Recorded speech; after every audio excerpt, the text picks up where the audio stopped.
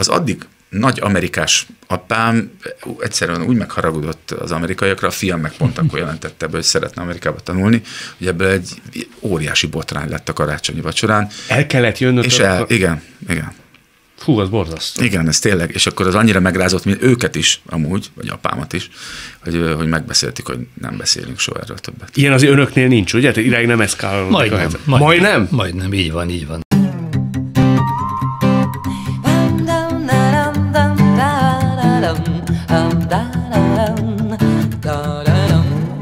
Köszöntöm Önöket, Kadarkai Endre vagyok. Ma itt lesz velem Jeszenszki Géza, történész, egyetemi tanár, diplomata, a rendszerváltás utáni első kabinet, vagyis az Antal kormány külügyminisztere, később hazánk washingtoni, norvégiai és izlandi nagyköveteként is dolgozott. 55 éve nős, két gyermek édesapja. Fiával, Jeszenszki Zsolt rádiós televíziós műsorvezetővel politikai vitájukat gyakran a nyilvánosság előtt is lefolytatják. Párosunk másik tagja Cutor Zoltán, zenész, énekes, a Belmondó együttes frontembere, mint a hazai zenei életben, mint pedig a közéletben igen aktív véleményalkotó, sokszor ad hangot nézeteinek, öt gyermek édesapja. Lássuk, mire megyünk ma így hárman.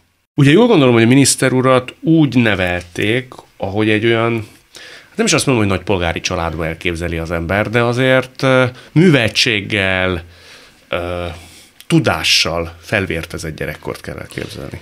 Hát mondjuk az, hogy polgári család, Igen? mert a nagypolgári azért az más, az a Weissmann fédék, és ő, akik igen tehetős, bár nagyon sok jótékonyság is fűződik hozzájuk, és hát én a magyar kapitalizmus fejlődésében ezt a zömmel zsidó származású, de részben német származású réteget rendkívül pozitívan látom. De hát ő Apám a Magyar Általános Hitelbanknak volt a jogásza, édesanyám pedig, hát amikor már nem volt az, fönvetett egy föntartani egy családot úgy, hogy valaki csak háztartásbeli, ő a testnevelési főiskolán volt zongora kísérő, nagyanyám egy zongora művész volt, de ő is csak tanár volt egész életében. Anyai nagyapám az az első világháború egyik hősi halottja, Nógrád vármegye főlevéltárnokaként. Úgy nőttem föl, hogy vigyáznunk kell, óvatosnak kell lennünk, de semmiképpen nem merülhetett föl, hogy én mondjuk csatlakozzam a kommunista párthoz, és aztán ehhez jött még Antal József, mint osztályfőnökünk, és a két évi segédmunkásság, a politikai mondjuk alapállásunk és az iskola és a Toldi gimnázium gondolkodása miatt. Már hogy arra kötelezték önöket? Ő minket eltiltotta Igen. Benke Valéria művelődési miniszter a egyetemi tanulástól, és így a munkásosztály tagja voltam két évig. Azt meg tudja fogalmazni nagyon röviden, hogy értse az, aki mondjuk soha nem került ilyen értelemben Antal József bűvkörébe. Hogy mivel tudott hatni ennyire önre? Mitől volt ő magával ragadó, hogy tulajdonképpen nincs olyan interjú, hogy nem említse meg, mint pozitív példa? Igen, hát akik megismerték, azok valóban, ha úgy tetszik, a bűvkörébe kerültek. Bele ez Orbán Viktort is. Hát ő... Zárója bezárva. Igen, de ott nem volt olyan nagyon hatásos azért. Ezt látom. Örülök, hogy ezt nem nekem kellett kimondani. Sajnos, sajnos igen. igen. Hát egy darabig talán valóban hatott rá, de ő az elvei, vagy akár a külpolitikája, vagy a demokrácia iránti elkötelezettsége az lepergett, én úgy látom. De visszatérve tehát, Antal József, ugye hát nálunk egy csak kilenc évvel idősebb volt, tehát számunkra egyfajta példakép volt öltözködésénél, de elsősorban a stílusánál, beszédmódjánál fogva. Miért hogy öltözködött? Hát az akkori viszonyokhoz képest, ha nem is az úgynevezett Jampec, de tehát egyrészt pol, igazából polgári módon, nyakkendőbe még osztálykirándulásra is nyakkendőbe jött, tehát ez egy, az is egyfajta tiltakozás volt, mert ugye a 50-es években a nyakkendő az is egy polgári csökevény volt, tehát ő ezzel is nyakkendőbe, zakóba. Laza tanár volt? Tehát laza típus, akiért úgy lehetett rajongani a közvetlensége rajongani, miatt? de nem az, aki haverkodik.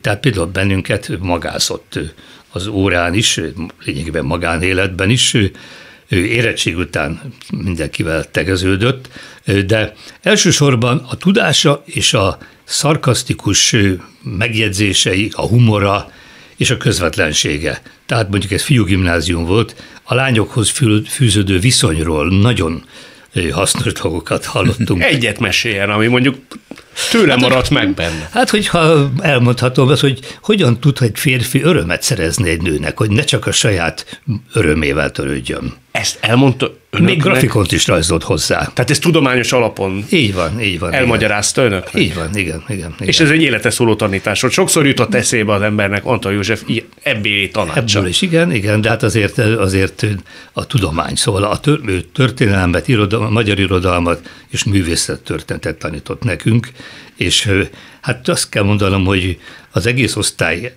eleve humán osztály volt, de hát sokan mégis reálpályára, hogy orvosira készültek.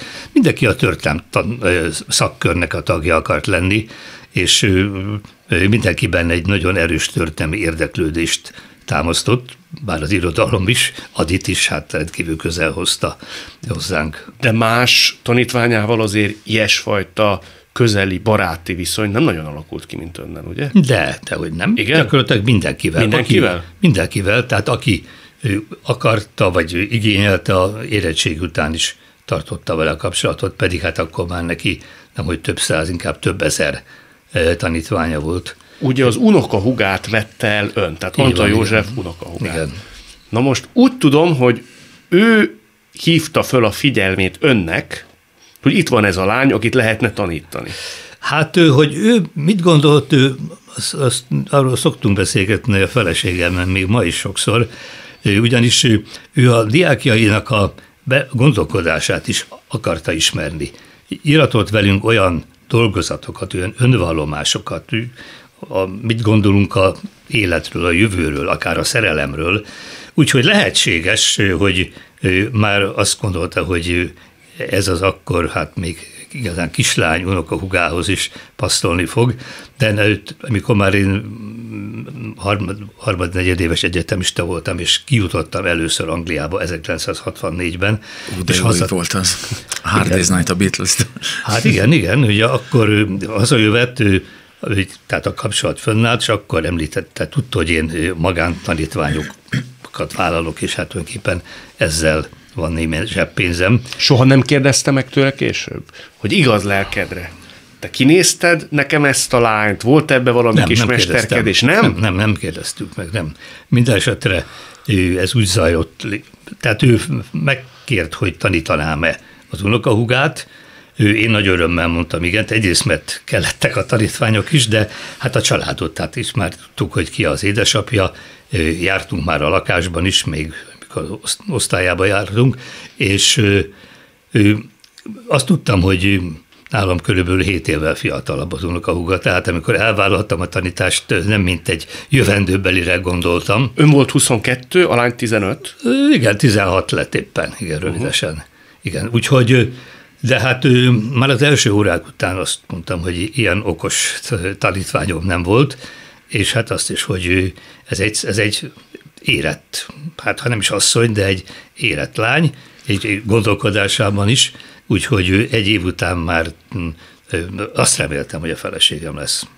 És az amikor leérettségizett, akkor össze is házasodtunk. És milyen érdekes, hogy ez a fajta érettség, akár férfiakban, nőkben, hogy tényleg van, akinél már 15-16 éves korban megjelenik, és van, aki 40 évesen is infantilis marad, és Igen. tényleg lehet érezni, tényleg én, én magam is láttam több olyan 16 éves lányt, aki zavarbejtően felnőttes volt nőies élet gondolkodás, és hát látunk felnőtt embereket, akik meg egyáltalán nem is valószínűleg nem is lesznek. Ez érettség, ez, ez a jó szó. Igen. Tehát van egy érett személyiség, és van éretlen személyiség, és van, amikor tényleg 50 évesen is éretlen. Igen. Felelősségvállalás ellenállás, döntésképtelenség Igen. tekintetében szerintem van lemaradásuk. Viszont és a testi fejlettség és a szellemi fejlettség nem jár feltétlenül Igen. együtt. Igen.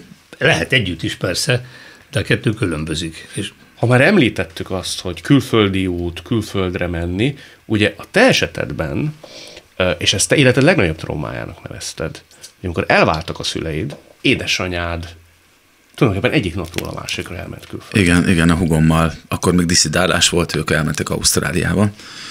És hát ugyan hugommal mi nagyon szerettük egymást, de tényleg is a mai napig így van. Te hány azért volt nekünk, ekkor? én akkor 15 és fél, vagy 15, most hirtelen nem, nem ugrik be, hogy ez 84-ben vagy 85-ben volt, tehát még bőven ugye diszidálás volt.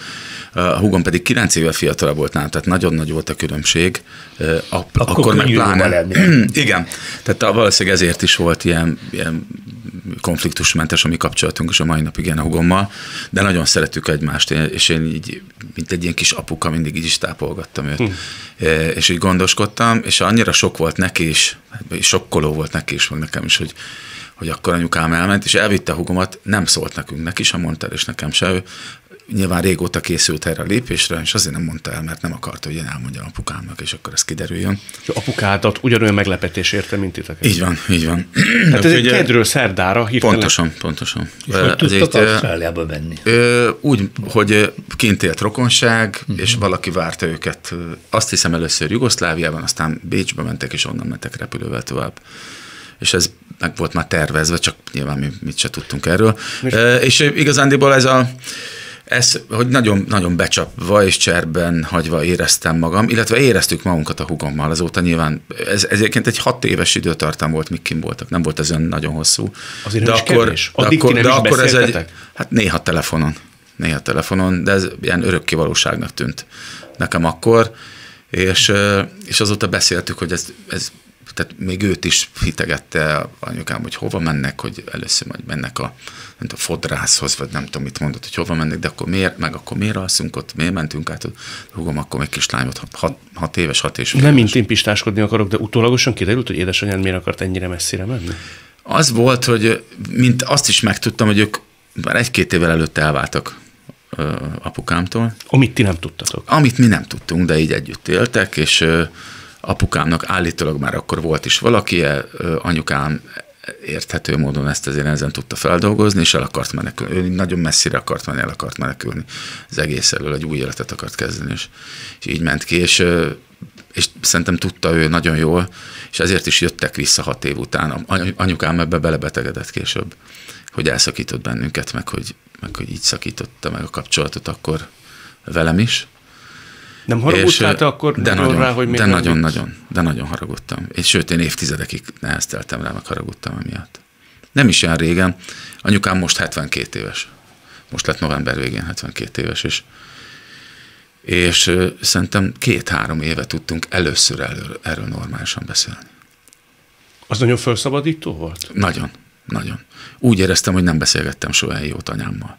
Hm nem kell részletezni feltétlenül, de hogy néz ki egy ilyen? Az ember úgy nagyon neki készül, elhatározza, mit fog kérdezni, vagy spontán, hogy egyszer nem, csak kialakul? Egyszer a, a, a hugoméknál volt anyukám, többször van itt vendégségben a hugoméknál, néha nálunk is, de inkább a hugoméknál. Egy sarokra lakunk egymástól, egyébként Újlipótvárosban. Mert szegediek vagyunk, és ugye Szegedről jár föl anyukám, meg néha apukám is. És anyukám még cigizik mindig, és kiment, kiment egy cigire hugomék lakása elé, meg kikísértem. És akkor így elkezdtem mondani ezt az egészet magától, amiről nem beszélgettünk se, és vagy egy órát, vagy másfél órát ott kint beszélni. Megrázó volt ennyi idő után ezt az ő aspektusából végighallgatni? Igen, az volt. De amúgy jó értelemben, szükség, jó értelemben. szükségünk volt rá nagyon. És most már nincs benned harag, elsimultak Hát egyáltalán nincs bennem. Nincs. És de, de nem tudom, hogy Nyilván nem volt, tehát én, tehát én nem vagyok egy haragtartó, meg nem is tudok haragot tartani, inkább azt mondanám, hogy egy tüske volt bennem, de most már az sincs. Ilyen nyomot hagy egy fiú lelkébe? Tehát máshogy áll bizonyos dolgokhoz utána? Mert biztosan, gondolom... biztosan. Szerintem nekem ez az, ez az ügy, mivel nagyon érzékeny életkorban ért, az, az biztos, hogy az egész életemre rányomta a bélyegét. Vagy legalábbis a, a nőkkel való kapcsolatomra, párkapcsolatomra biztos. Tehát, hogy, hogy bármilyen hosszú kapcsolatokban voltam, és nem volt sok kapcsolatom, és az, az többnyire évekig, vagy akár hosszú évekig tartott.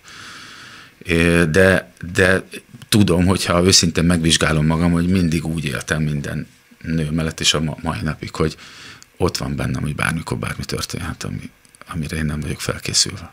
Ti hova kerültetek aztán? Édesapáddal maradtál? Hát apu itthon maradt, és nem sokkal később kiment Németországba dolgozni, ő nyomdász, meg újságíró volt Szegeden, és kiment egy német nyomdába dolgozni. Még akkor az is diszidálásnak számított egyébként, és, és a nagymamámhoz kerültem, aki engem imádott, apukám anyukája, és én is nagyon szerettem, de kiderült, hogy csak úgy bírunk egymás mell, vagy egymással ellenni, hogyha egyébként nem lakunk együtt, mert hogyha együtt lakunk, ő egy, egy mindenbe belekötő nénike volt. Majdnem azt mondtam, hogy öreg asszony, de igazán, hogy, hogy a, abba is beleszólt, hogy a tejfölös kupát jobbról, balról nyitom föl, vagy abba is beleszólt, hogy, hogy ha nem csak fokhagymát tettem a fasírtba, hanem vöröshagymát is nagyon szeret, mert gyerekkorom óta szeretek főzni, és úgy csináltam meg, abba is belekötött, úgyhogy, úgyhogy nem, nem tudom, hogy mennyi időn belül lehet, hogy három hét volt, lehet, hogy két hónap, hónap de viszonylag gyorsan, még gimnazistaként elmentem albérletbe. Akkor nagyon korán föl kellett nőni. Igen, határozottan. Határozottan, és innen visszanézve az is egy, az is egy nagyon jó tanuló pénz volt. És innen visszanézve azon csodálkozom mai napig, hogy én akkor hogy nem aggódtam egyáltalán. És nem aggódtam? De egyáltalán nem aggódtam. Semmi nem aggódtam. Valószínűleg ez egy ilyen típus kérdése. Nem tudom, hogy ez vele születette, vagy, vagy, vagy mire felnevelkedik az ember ilyen lesz, mert, mert úgy nevelik, hogy mindig központú voltam, soha nem szerettem panaszkodni, soha nem szerettem asszalni a problémákon. Oké, okay, jól van, tudjuk le, most ez dobta a gép, merre menjünk tovább, és a mai napig ilyen vagyok. Ha már itt konfliktust említett Zoltán, köztudomású, hogy fia, mondjuk úgy, hogy más politikai pártállású, mint ön, nyilvánosan is vitatkoztak azért ezzel kapcsolatban. Az ilyet ön például stimuláló dologként kezel, és azt mondja, hogy érvek csatája, vagy azért vannak pillanatok, amikor úgy elszomorodik az atyai szív? Hát amikor még, tehát először is ez nem egy nagyon régi keletű dolog.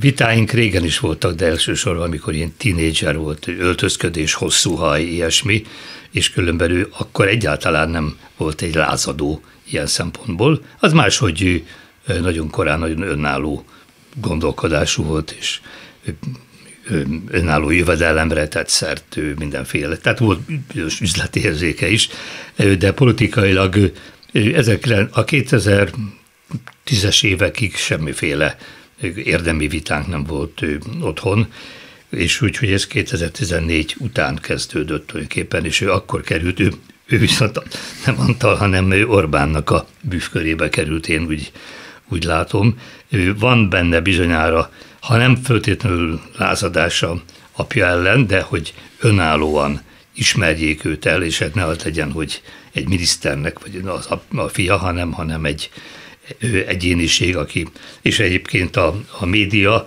és a rádió, TV világban az, az nagyon jó minőséggel képviseli, vagy végzi. Én szerintem mondom is neki is, hogy jó minőséggel rossz ügyet képvisel. Na most ebből természetesen van nagyon komoly belső konfliktus.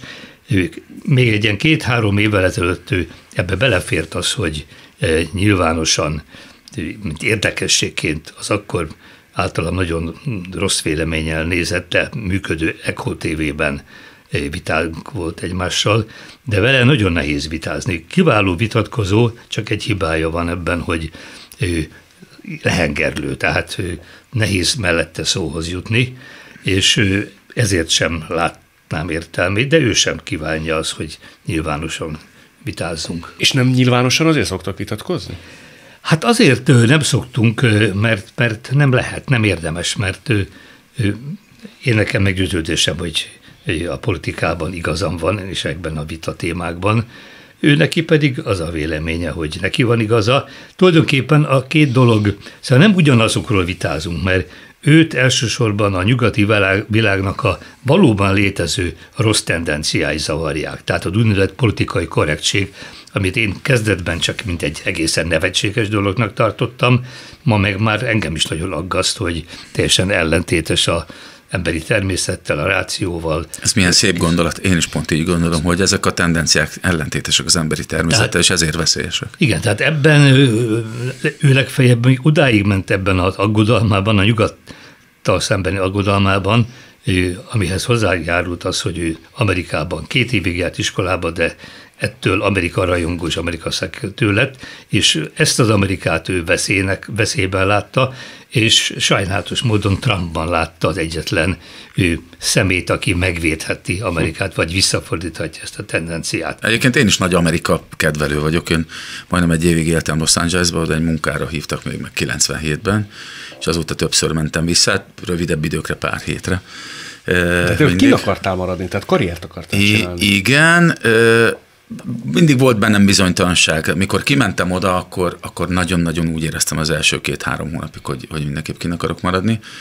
Aztán hát ebben biztos vastagon benne van az is, hogy én nem a keleti parton voltam, hanem Los Angelesben, ahol a, az egész nyugati part nekem nagyon-nagyon ideglenesen, ideglenesnek tűnik, és nagyon, nagyon gyökér nélkülnek, gyökértelennek Európához képest, és annyi, egy idő után annyira elkezdett hiányozni az, hogy legyen egy kőépület, és a kőépülethez tartozó történelem, és ugyanez a kulturális hagyományomban, mindemellett az Egyesült Államokban olyan jó indulattal találkoztam, emberi jó indulattal bárki részéről, akivel együtt működtem, meg együtt dolgoztam, aminek a nyomait is nehéz felfedezni Magyarországon, és ez, ez viszont nagyon felemelő volt, és ha igazán őszinte vagyok, a mai napig legalábbis szakmai önbizalom szempontjából abból élek, amit ott tapasztaltam ez alatt a néhány hónap alatt, amíg ott dolgoztam, zenei dolgokra gondolok itt elsősorban. Én ezt meg tudom erősíteni, mert én mm. két és fél évig vendégtanárként Kaliforniában éltem, mm. Santa Barbarában, de Los Angelesben is tanítottam. Egyrészt az amerikaiak jó indulata, jó szívűsége, azt én is csak Igen. csodálni tudtam, és hát nagyon rokon szemes volt. Nekem ott nem az épületek zavartak, hanem tulajdonképpen a növényzet, szóval a klíma. Úgyhogy Ragadt minden a, a melegtől. Igen, igen, igen, bár Santa Barbara ilyen szempontból kivétel, igen, hát az egy tenger, szóval az olyan védett a hegyek által, hogy, hogy nem ilyen. De a lényeg az, hogy én nem akartam, én sem akartam ott maradni, pedig családdal voltam ott, és hát csábítottak, feleségemnek nagyon jó számítástechnikai szakmai állása is volt, de viszont azt mondtam, hogy ha nem élhetnék Magyarországon, és Amerikában találnék egzisztenciát, akkor azért a, nem is a keleti parton, hanem az északnyugati parton tehát Washington államban, eh, ahol, ahol nagy fák vannak, ahol szép hegyek vannak, ahol sízni nagyon az jó fontos. lehet. Igen, fontos, igen. bár Kaliforniában is lehet, szóval a Mammoth Mountain az egy nagy hely. Egyikük se bánta meg, hogy visszajött, ugye? Egyáltalán nem, nekem mondjuk nem is volt akkor más választásom, az volt, hogy, hogy én két kicsi gyereket meg a feleségemet hagytam itthon ideglenesen. És úgy volt, hogy kaptam egy jó ajánlatot, és elkezdek dolgozni, és hogy kicsit megerősödök, akkor természetesen jön utánam a család. De hát ez eltartott volna még három hónapig, fél évig, nem tovább. De a feleségem akkor nagyon-nagyon aggódott, és én akkor kaptam egy, egy, hát egy félreérthetetlen fenyegetést, hogyha hogyha nem vitetem ki őket azonnal, az egy hónap után következett be, akkor, akkor inkább elválik. És akkor annyira megijedtem, hogy én kihozattam őket magamhoz, egy kettő és egy négy éves kisgyerekkel.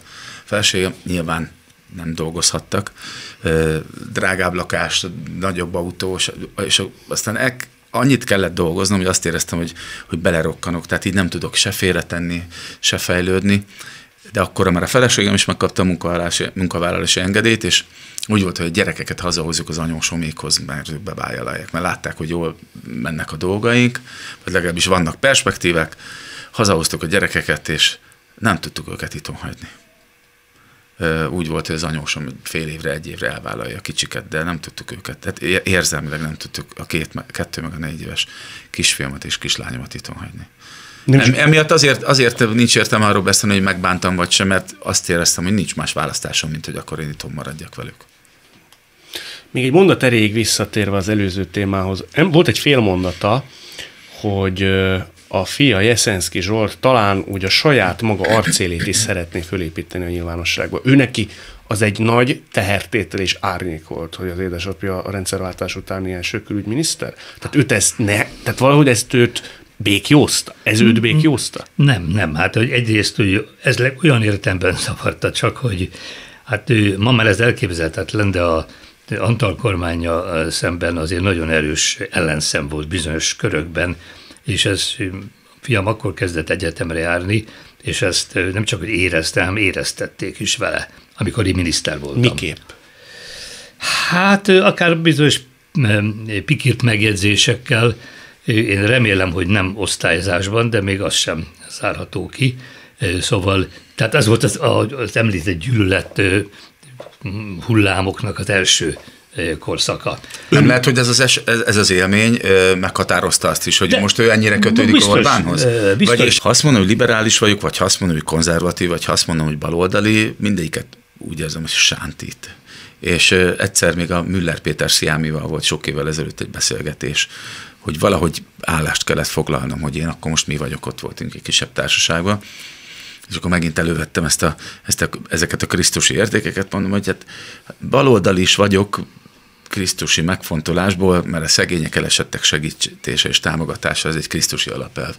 Valószínűleg emiatt vagyok liberális is, mert a, az önrendelkezés és, és a szabad akarat érvényesítése egy ilyen ősi keresztény zsidó alapelv, aminek érvényesülni kell, és hát ha igazán őszinte vagyok, akkor konzervatív nemzeti elkötelezettségű is vagyok, de én ezt nem tudom a kereszténységhez kötni, ezt ahhoz tudom kötni, hogy Magyarországon születtem, magyar bölcsödébe, magyar óvodába jártam, magyar népdalokat tanultam, magyar verseket tanultam, magyar zenén nőttem föl javarészt, tehát természetesen ez a legfontosabb kultúra számomra. Az volt egy érdekes dolog, erről eszembe jutott most, hogy ezt kimondtam, és beszéltünk Amerikáról, hogy az, az igazán nagy fordulópont nekem az volt, hogy a második vagy harmadik hónapom után Los Angelesbe vezettem egyedül egy autópályán, és egy, egy klasszikus rádióban meghallottam egy, egy liszt darabot. És üvöltve elkezdtem sírni az autóban, mikor azt meghallottam. Hm. És kaliforniai magyarokkal nem volt kapcsolat? De, de, de valamennyi volt, valamennyi volt, de bevallom őszintén, hogy legalábbis akikkel én találkoztam, és nem, nyilván nem akarnám őket megbántani, egy, egy csupa jó szívű, meg jó indulatú emberrel találkoztam, de az az a fajta magyarság volt, hogy, hogy matyóhímzéses terítő volt, csirkepörköltet teszünk hétvégen, tehát, de, tehát nagyjából ebben merült ki a... Tehát, hogy külsőségekben igen, merült ki. Igen, ilyenfajta külsőségekben, és az, ami igazán számomra erős vagy fontos magyar, magyar kulturális érték, az, az ott nekem nem jelent meg, de lehet, hogy ez egy szerencsétlen véletlen volt csak. Hát, mindenféle magyar van, Igen. tehát kb. 50 ezer magyar származású élt mm. annak idején a Los Angeles környékén. Cserkészettőkhoz, akiknél ugye hazafzsernek egy sajátos válfaját találkozhattunk. De hát Amerikában a szélső jobboldali magyar hagyomány is még élt mm. tulajdonképpen, Szittyakürt nevű folyóirattal eh, találkoztam, és olyan személlyel is, eh, aki ezt képviselte. Úgyhogy eh, Szálasinak emlékművet állítottak Ohio-ban, magánterületen ugyan, és az van ráírva, hogy megdicsőült a kivégzése napjára, oh. szóval ez is megvan Amerikában. Ez elég creepy. Ugye, ugye is még valami, ugyan találkoztam olyan magyar kommunistával, aki a 20-as években ment ki, és megkérdezte tőlünk, feleségemtől, hogy hogyan ünnepeltük meg április 4-ét, a felszabadulás ünnepét. Ez volt a 80-as években, hát bámultunk rá, hogy ünnepelni, vagy azt gondolja, hogy mi ünnep, ne számunkra ez ünnep. Az ilyen típusú helyzetekben ön leáll vitatkozni a szálasi hívővel, meg a kommunistával? Én leállok, én igen? egy harcos vagyok, igen, így ez mai napig is így van. Tehát akkor olyan Jeszenszki Gézát látnánk adott esetben ilyen vita szituációban, akire rá sem ismerünk? Tehát akinek leszáll a köd, és be akarja bizonyítani az igazát, és megy? Tehát mint a fia lehengerlő? Hát nem lehengerlő, én egy, talán ezt úgy is neveltek, hogy én, én udvarias, és meghallgatom a másik véleményét. Én hiszek abban, hogy a racionális érvekkel meg lehet győzni valakit. Hát sokszor nem. És olyan jó, talán nem bántom meg ezzel, hogyha mondom, hogy ugye 80 éves Igen, most nemrég, és annyira jó hallani egy ennyire friss gondolkozású 80 éves úriembert, hogy ez, ez nekem is sok erőt ad, hát köszönöm, a, hogy vagy. Hát ez a természetes szerintem, és ő és De jó, hogy ezt mondod. Igen, hát Magyarországon itt a magyar történelem is hozzájárul, a 20. századi szörnyű történelmünk is hozzájárul a türelmetlenséghez. Mondjuk éppen most Gyurgyák Jánosnak egy kiváló tanulmánygyűjteményét olvasom, mert arról készülök írni egy komolyabb recenziót. Szóval hát számomra is ismert dolgok ezek, de hát hogy mennyire régi hagyomány nálunk a megosztottság. Leegyszerűsítve ez a Kuruc Labancik visszamegy, vagy akár a fiammal szoktam mondogatni, hogy, vagy másoknak is erről a vitánkról szólva, hogy hát a hány magyar királyfi fegyverrel szállt szembe az apjával. Tehát a trónkövetelők harcai, ez a Árpád házban is. Nekem is van apukámmal egy konfliktusom, amiről nem nagyon szoktam beszélni.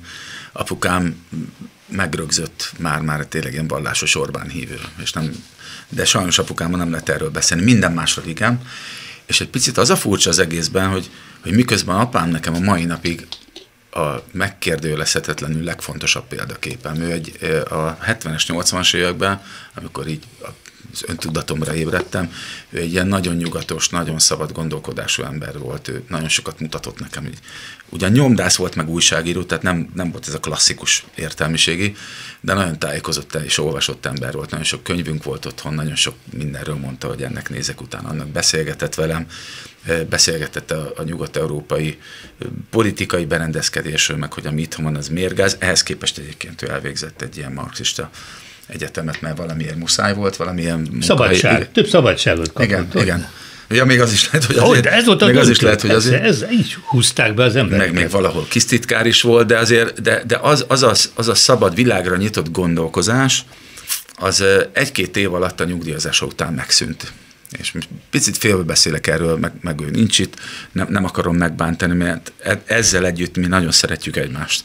De hogy a mai napig ez egy megoldatlan konfliktus, annyira megoldatlan és megoldhatatlan konfliktus, hogy évek óta nem is beszélgetünk sem még érintőlegesen sem politikáról. Kínosan mert, mert olyan durva veszekedések vannak belőle, hogy már volt olyan, és akkor az volt a, nyilván az utolsó ilyen csepp a pohárban, amikor eltároztuk, hogy semmilyen családi eseményen nem beszélgetünk, hogy volt, hogy karácsonyi vacsorára kitette a családomat amiatt, mert épp, a fiam éppen Amerikába akart menni tanulni, és pont akkor volt ez a konfliktus, konfliktus hogy tolmácsot, tudod, a, a navos ki volt, Igen, nem, igen, nem igen. be, és akkor Vida a, Ildikó. és a good friend volt akkor a, Így van. ugye, a Amerikai ügyvívő, igen. igen, az ügyvívő, a követségen az ügyvívő, és akkor vele volt valami konfliktus, és az addig nagy amerikás apám egyszerűen úgy megharagudott az amerikaiakra, a fiam meg pont akkor jelentette be, hogy szeretne Amerikába tanulni, hogy ebből egy óriási botrány lett a karácsonyi vacsorán. El kellett jönnöd. És el, igen, igen. Fú, az borzasztó. Igen, ez tényleg, és akkor az annyira megrázott, mint őket is, amúgy, vagy apámat is, hogy, hogy megbeszéltük, hogy nem beszélünk soha erről többet. Ilyen az önöknél nincs, ugye? Tehát irány nem eszkálódik a Majdnem, majdnem. Majdnem? Majdnem, így van, így van. Tehát ő, a fiamban ő, szóval a hirtelen harag, a méreg, az, az lehet, hogy tőlem örökölte, de én sokkal jobban uralkodom magamon.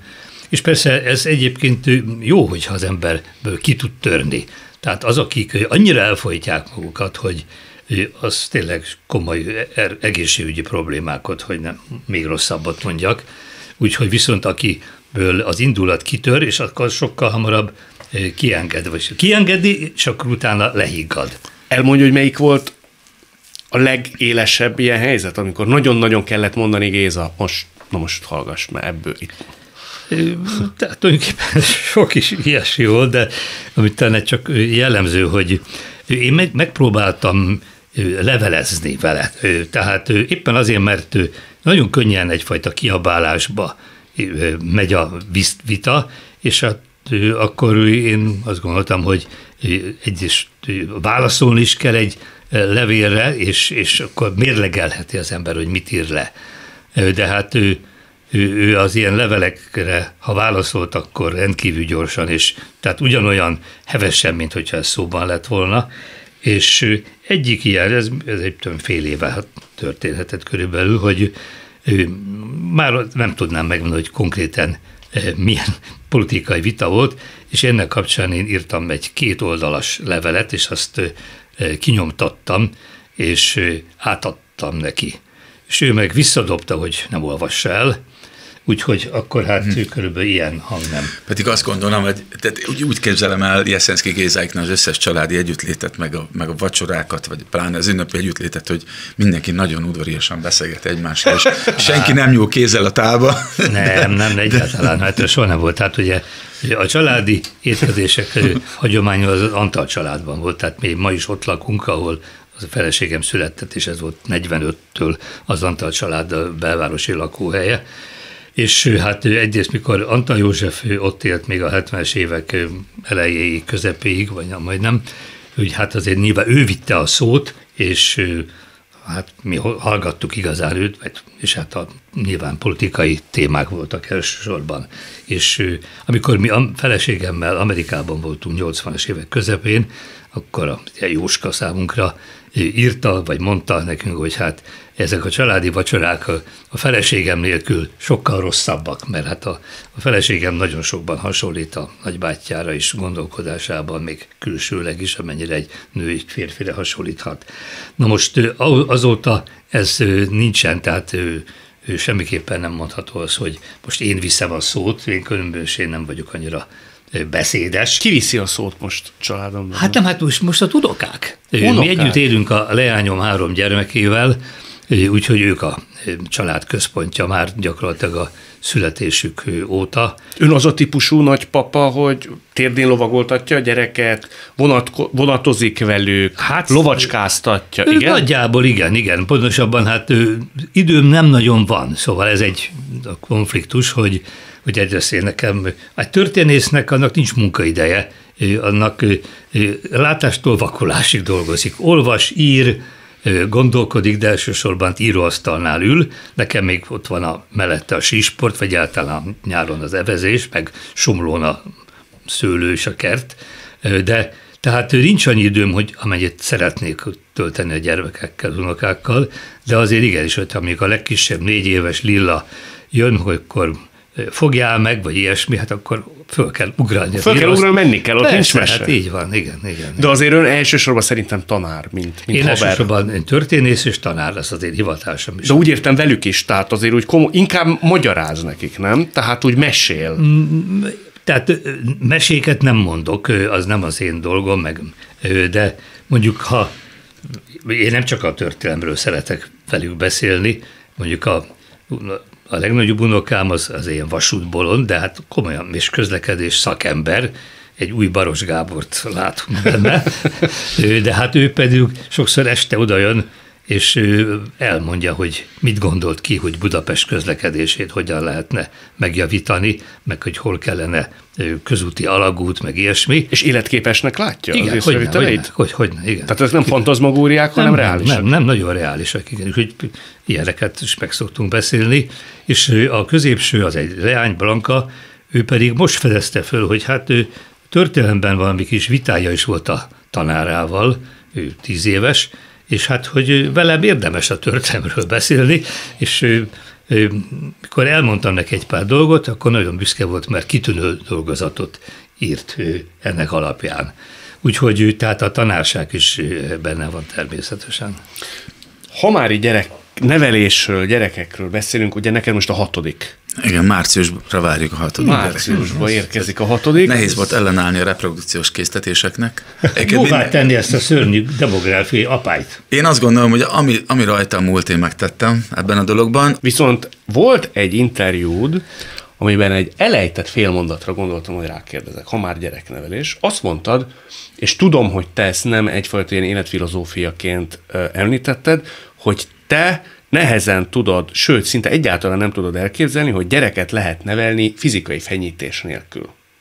Tényleg mondtam ilyet? Mondtam, szó szerint kírtam, és akkor arra gondoltam, hogy valószínűleg erre utalhattál, amikor sok gyerek vesz körül téged, időnként te úgy gondolod, hogy megúszhatatlan Egyáltalán az, hogy... nem, nem, hogyha mondtam is ilyet, inkább azt mondom, hogy hogy tudom, hogy ez, ez most nagyon sikamlós, pláne egy woke culture ez egy ilyen nagyon, nagyon, ö, bocsánat, mielőtt kifolyna az italom, ö, nagyon nehéz, na, nagyon nehéz ebben úgy állást foglalni, hogy utána ne szedjék szét az embert, de Mondok konkrét példákat a saját életemből. Egy, azt nem gondolom, hogy az ember türelmetlenségből be, a kezet emelhet bárkire. Sőt, igazándiból azt gondolom, hogy, hogy meg olyan sincs. Az, azért nem szeretem azt, hogy nőt nem bántunk. Mert mi az, hogy nőt nem bántunk? Hát senkit nem bántunk. Tehát az a, az a én mindig, mindig zavarba hozott ez a kijelentés. Természetesen nem, mert hogy alapú helyzetben csak a legszélsőségesebb esetben bánthatunk valakit, ha az életünkre tör, vagy a családunk életére, de akkor ilyen, meg tök mindegy, hogy amúgy nő vagy férfi vagy állat. Se, nem?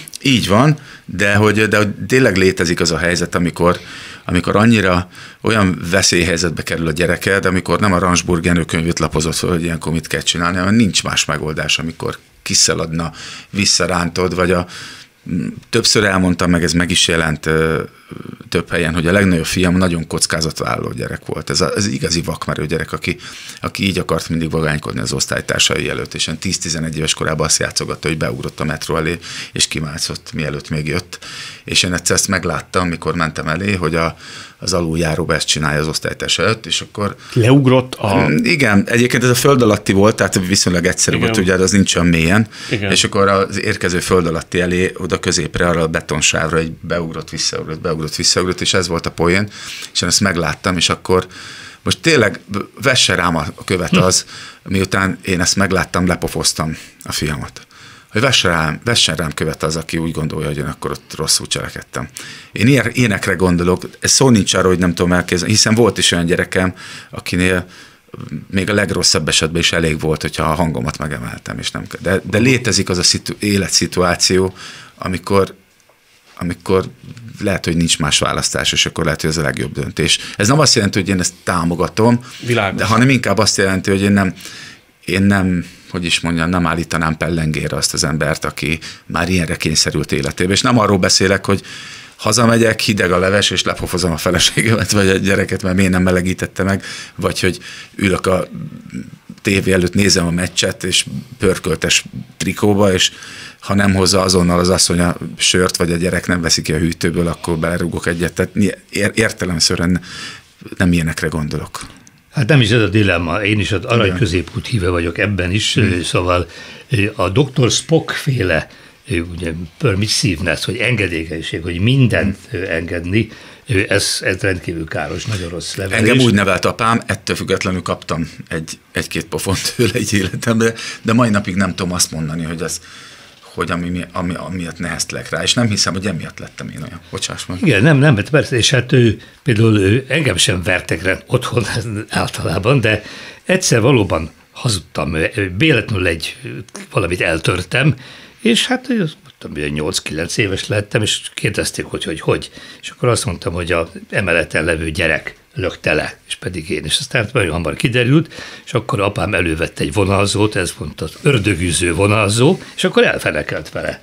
Úgyhogy én ezt a fiammal nem ördögűző vonalzóval, de egyszer én is párszor a felek érültem kiskorában, mikor egy könyvet összefirkált. Úgy azt gondoltam, hogy hát a könyvekre vigyázni kell, szóval valamennyire meg kell tanítani néha. De én, hát, én még ennél sokkal durvább helyzetbe kaptam pofont. Van egy nagyon emlékezetes pofon gyerekkoromban, amit én kaptam apámtól, és a mai napig nem, hogy nem tudok rá neheztelni emiatt, hanem tényleg hálás vagyok érte és ilyen, hát nem tudom, milyen hat éves lehettem talán, mentünk az utcán, még nagy csoportos óvodás, és emlékszem, hogy tél volt, mentünk ki a, az óvodából, és ment előttünk egy csípőficamos óvodástársam.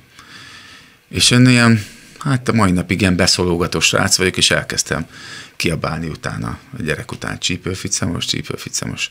És az anyukája megfordult, és elsírta magát, hogy én nem tehetek róla. És emlékszem apámnak a bőrkesztyűjére. Uh-huh. Az volt az első pofon, meg a legnagyobb is, uh-huh. amit kaptam tőle. És odafordult, és kaptam tőle egy akkora pofont, hogy berepültem oda egy fa mellé a hóba. Ez megrázó. Hát, és, és akkor most gondoljam azt, hogy nem, nem adunk ilyet egy gyereknek. És egy életre megegyeztem nyilván. Persze. Igen. Ezt meg... És ilyenkor például hálás vagy? Igen. Igen? Igen. Tehát nem úgy gondolok apámra, mint egy agresszív állatra. Hát nyilván itt szó nincs erről. Szó Igen. nincs erről. És mikor ilyen, ilyenekre is azt mondjuk, hogy, hogy ilyenkor, mondjuk egy ilyen után meghurcolnak egy szülőt azért, mert kezetemet a gyerekére, attól nagyon rossz érzésem van.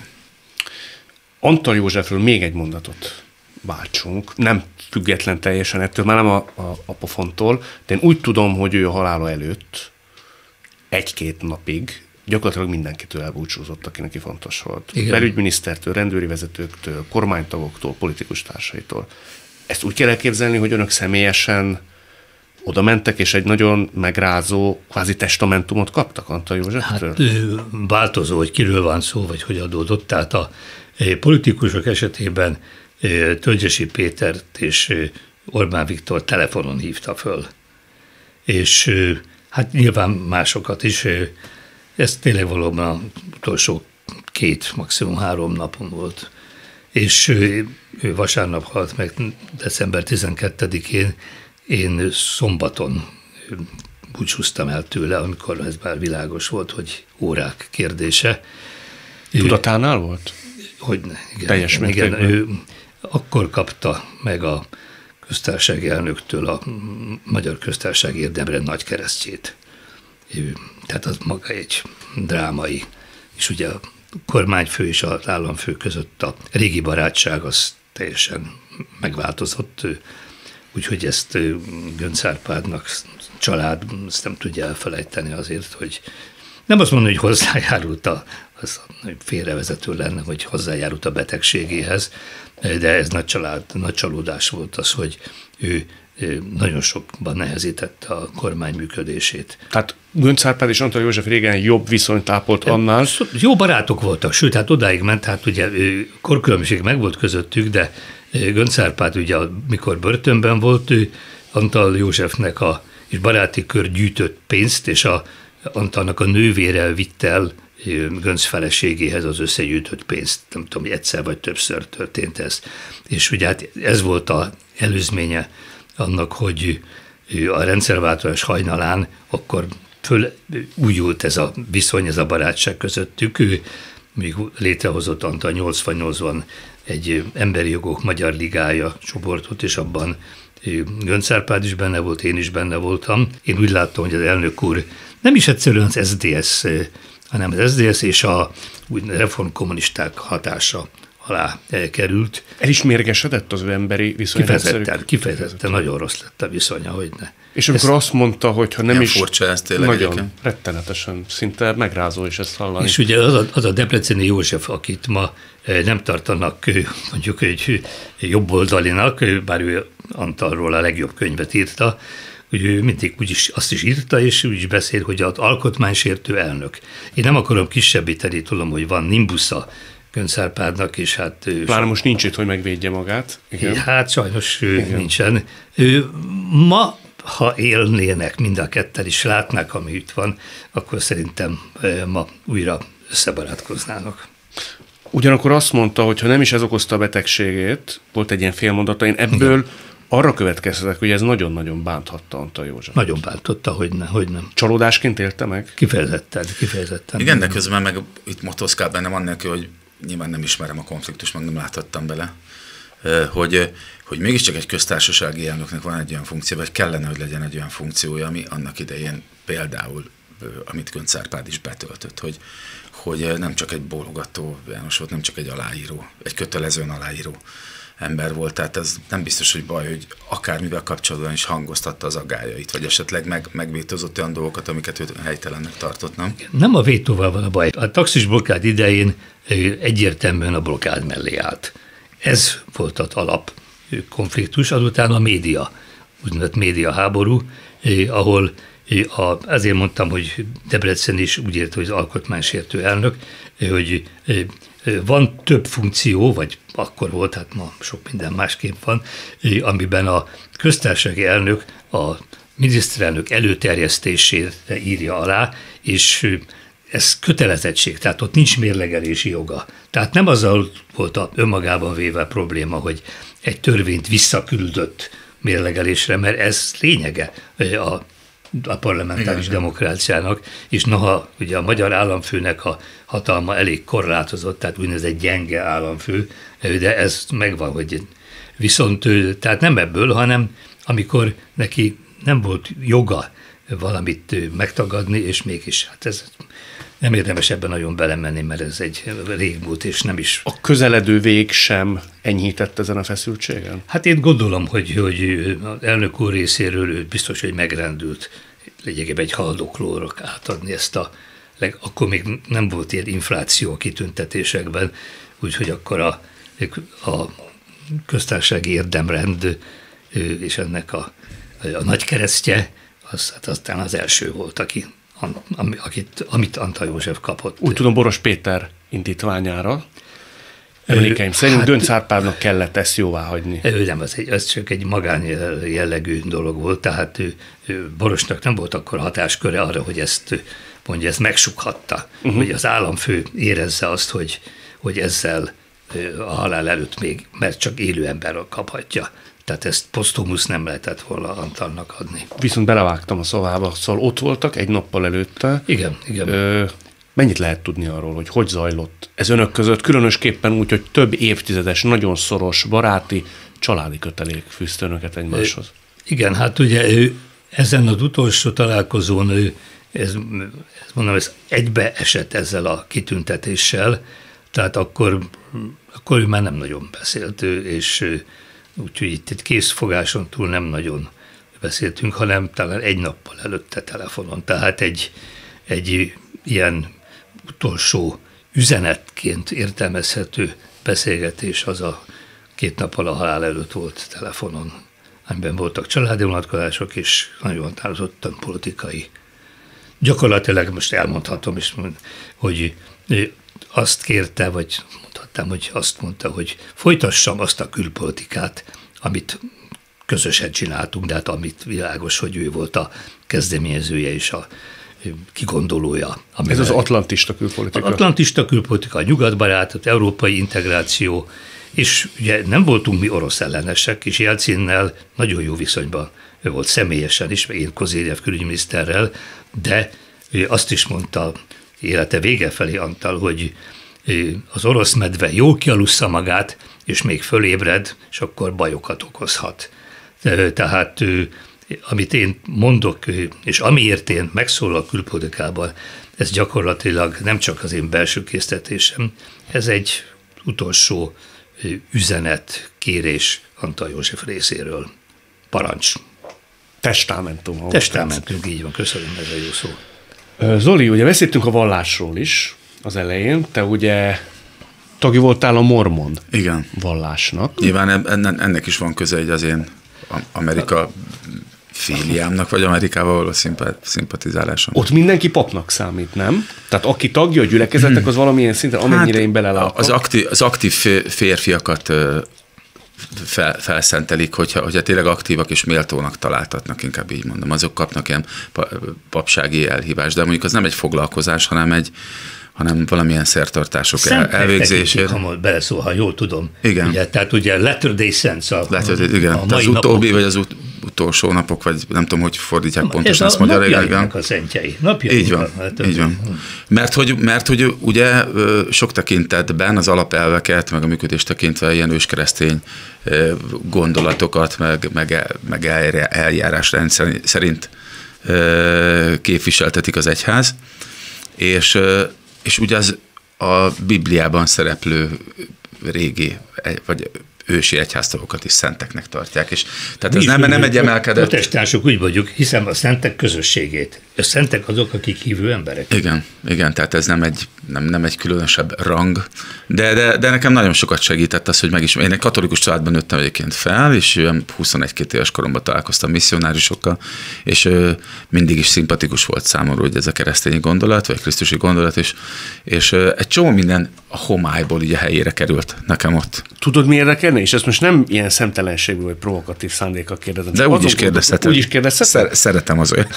Illetve hogy, bírom inkább ezt mondom. Hogy egy ünnepelt rockstar esetén, meg az ezzel való, mondjuk úgy, hogy hívságokkal fejezzük ki magunkat így, hogy fér össze az istenhit és a mormon vallás gyakorlása. De lehet, hogy csak én gondolom azt, hogy egy ünnepelt, nők által nagyon szeretett frontember egy picit lehet, hogy máshogy is él, mint Igen, egy hagyományos nehéz, értelembe vett vallásos ember, ami így képzet alapján az, például az biztos, hogy, él. Az biztos, hogy máshogy él, és nagyon-nagyon nehéz összeegyeztetni, tehát ez egy ilyen ez egy életen áttartó küzdelem az emberben, tehát mindenkit érnek kísértések.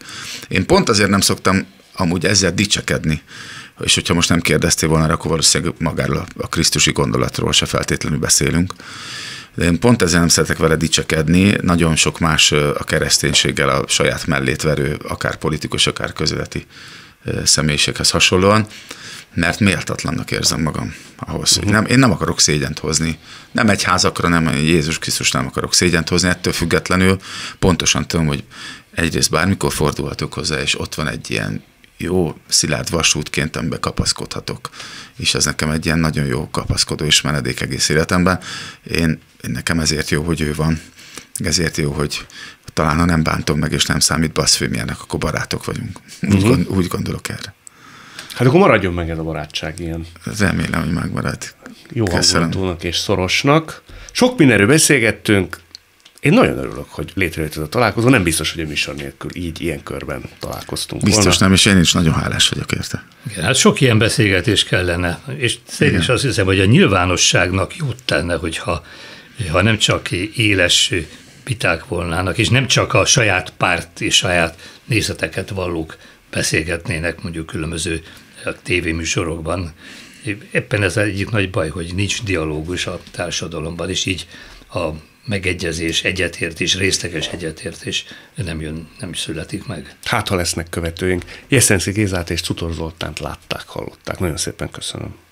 És köszönöm.